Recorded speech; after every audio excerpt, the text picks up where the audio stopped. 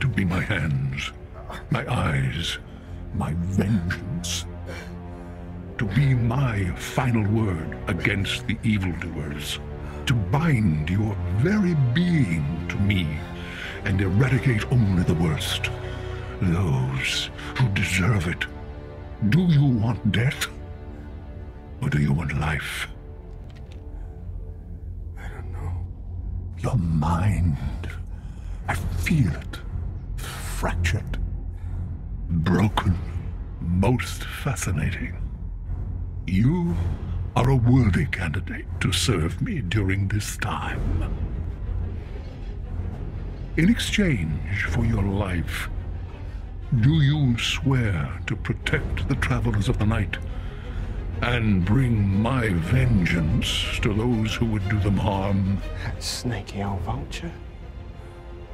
He was manipulating you from the start. No, it kept us alive. Marc, he was he was taking advantage of you. Or it was just a way for me to keep being what I've always been.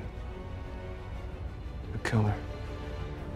Do you swear to protect the travelers of the night and bring my vengeance to those who would do them harm?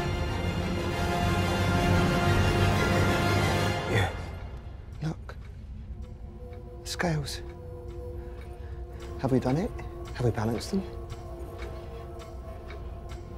Then rise, rise and live again as my fist of vengeance, as my Moon Knight.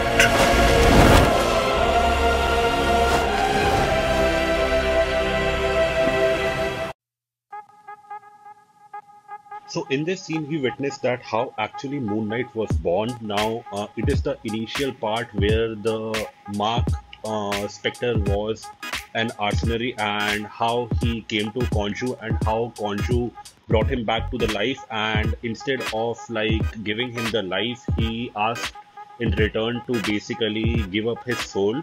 So that is what Marc did and he accepted the compromise or you can just say the sacrifice and gave up his soul to Khonshu, and that is how Khonshu is misusing his actions and you can say is using him for his own better things which Khonshu wants to do.